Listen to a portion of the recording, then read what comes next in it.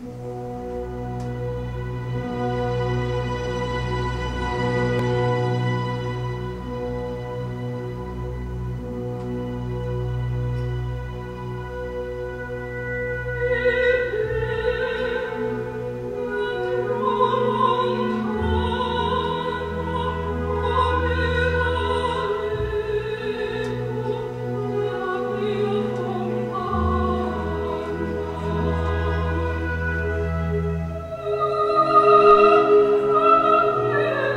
I'm this year celebrating my 10th anniversary, and uh, this program includes three pieces one from 2000, and one from 2004, and one from 2009. The first one is a solo, and the second piece is called Journey to the One, is a piece that includes tangos from around the world. And the last piece that I premiered last year here in Washington, D.C is celebrating the 20th anniversary of the fall of the Berlin Wall, and it's called Wall Stories.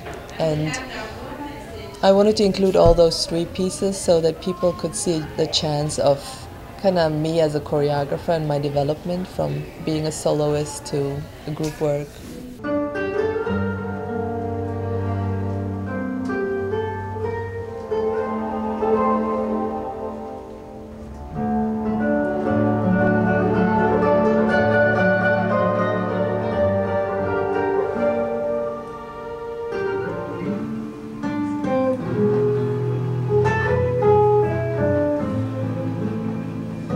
I think in the last 10 years I've been clearer with um, kind of staging and message and um, using the space and the dancers and knowing my vocabulary I can also teach it to other dancers and that has been um, really kind of the main focus developing a language and then transforming it into other dancers.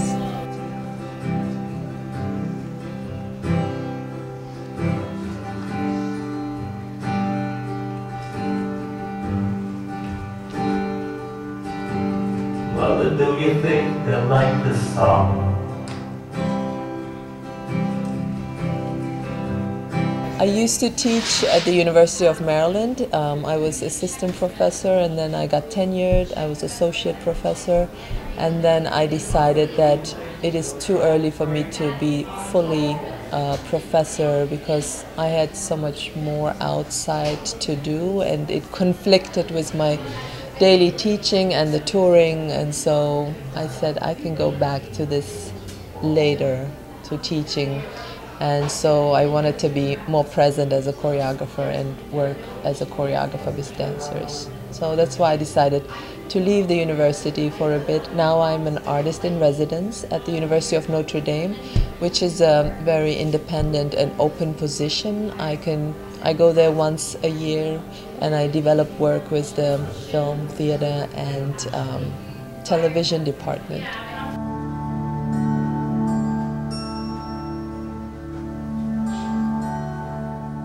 We're working on a film project which is called Where Women Can't Dance or Where Women Don't Dance, and it's with Nell Shelby.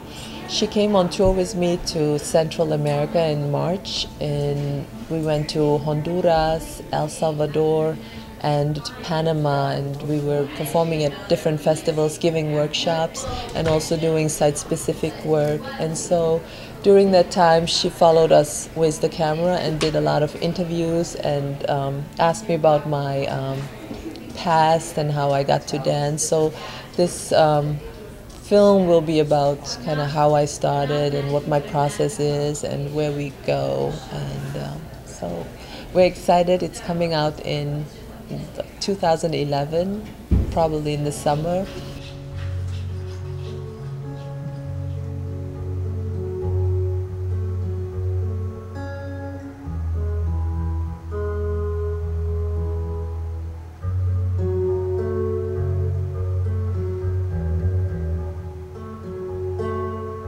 Dance for me brought all the different conflicts that I had with being from two different worlds together because um, when you dance, you just go to back to the the pure human and the pure emotions, and so that other stuff doesn't matter.